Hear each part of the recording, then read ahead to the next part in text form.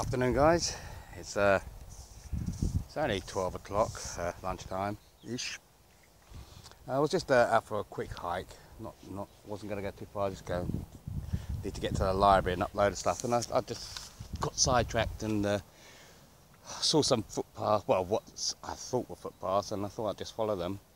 Uh, and it's they go and just this one just led me. As you can see, that's the path I was down there's a, the main road towards the main reservoir sort of area. But I just walked down this path and came across this lovely little spot. And uh, I don't know if there's fish or anything else in there, but there's certainly some activity in the in the woods, in the water anyway.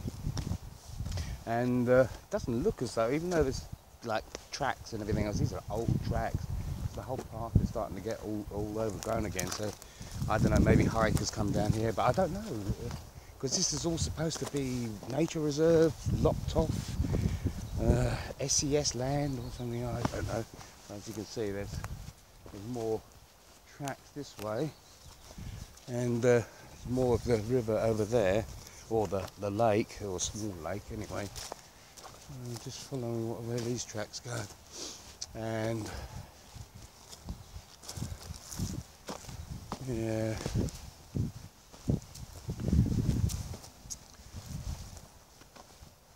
Thing's a bit boggy. I don't know what that is. Bit of concrete mix. Lots of silver birch. At least there's running water here. The water is running. Um,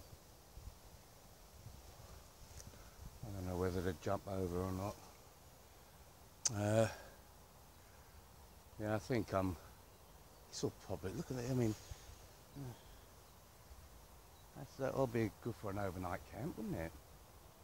You've got running water here. Anything else? Anyway, I'm just gonna.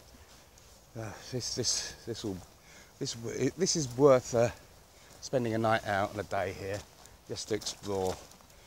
Um, do a bit of stealthy camping or something like that. As you can see, there's more. There's more.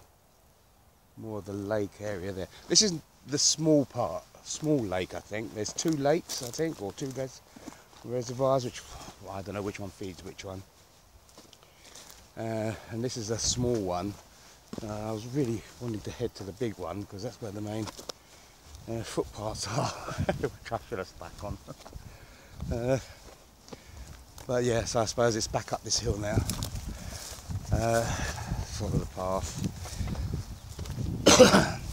you see, when you take the path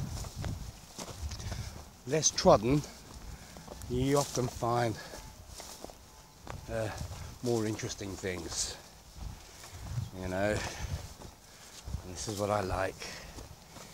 As I say, this this path hasn't been used in a while. Uh, and just just just either side of it there's some beautiful flowers. All the natural wildlife is is here. Plus all the thistles and nettles and everything else. One thing you don't find so much out in the wilds anymore or one thing I haven't noticed so far is uh, you know, fruit trees. I, I remember we used to go walking when I was a kid, and yeah, some some some places, some fields, some farms, and there'd be fruit trees. Yeah, the old apple tree, sometimes a pear tree, you know, those conference pears. Uh, they'd be around, and uh, yeah, you could just have a have a pick. Ah, dear. Uh, reminds me of my uncle and my father one day disappearing into some fields through some woods. Come running back to the car because we'd all stopped off on, a, on a day out. Come running back to the car, get in, get in, get in. And they both had a huge bundle of sweet corn.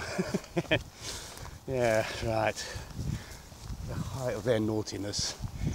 Oh well. Uh, Okay, well, I'm going to carry on down that path, see where it takes me, and uh, get to where I'm going. Got some stuff to pick up later on. Anyway, catch you later, guys.